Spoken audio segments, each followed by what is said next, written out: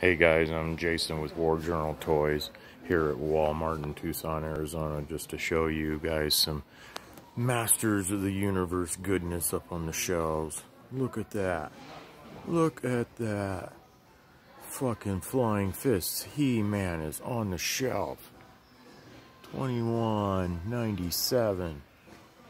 Skeletor isn't here yet, but he's coming. But they got some other surprises, guys. Look at this shit. This is Walmart. Freaking Stridor at Walmart for $32.97. Look at that. That is awesome. Let me get that back into the shelf. And of course, there's Wind Raider, Flocked Panthor, Let's see if there's any giant Skeletors. No, no, no. But I got a couple Flying Fist He-Man. I'm going to do a review review tonight on one of them because I'm going to open the other. Alright. Sorry about the floor shot. But they got some more Motu there. But yeah, that Stridor is badass. I wasn't expecting him. I was looking for him. The usual power attack with the He-Man and Skeletor from the animated series.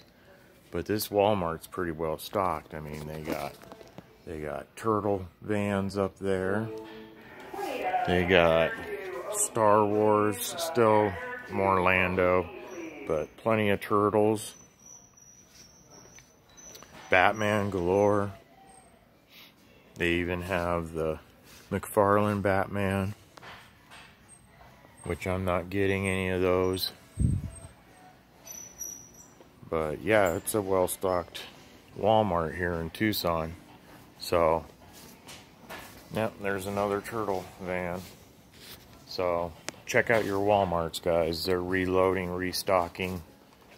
They also got, go down here, more bendy things and kids stuff with Avengers, few legends. Some G.I. Joes I'm still looking for, bats. I hope I can find some bats soon. Transformers. And then last but not least, dinos. But, yeah guys, I'm Jason. This is War Journal Toys.